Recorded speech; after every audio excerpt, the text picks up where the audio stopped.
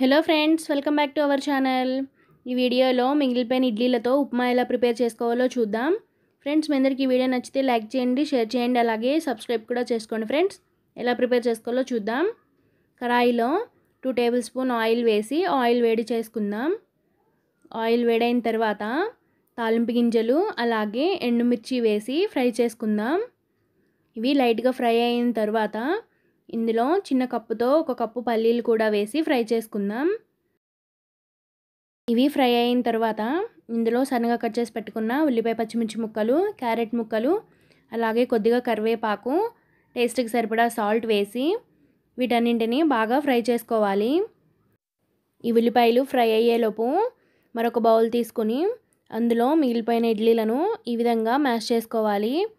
వీటన్నింటిని మ్యాష్ చేసుకున్న తర్వాత ఫ్రై చేసుకున్న ఉల్లిపాయల్లో వేసి వీటన్నింటిని బాగా మిక్స్ చేసుకోవాలి.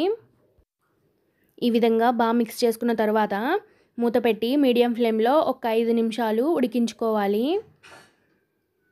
ఐదు నిమిషాల తర్వాత మనకు ఉప్మా రెడీ అయిపోతుంది ఫ్రెండ్స్. ఇప్పుడు దీన్ని మరొకసారి బాగా మిక్స్ చేసుకుని ప్లేట్లోకి సర్వ్ చేసుకుందాం. ఈ ఇడ్లీ ఉప్మా చాలా చాలా బాగుంటుంది ఫ్రెండ్స్. ఖచ్చితంగా ట్రై చేయండి. ఫ్రెండ్స్ మీ అందరికీ ఈ వీడియో నచ్చితే లైక్ చేయండి షేర్ చేయండి అలాగే సబ్స్క్రైబ్ కూడా చేసుకోండి friends. Thanks for watching. Thank you.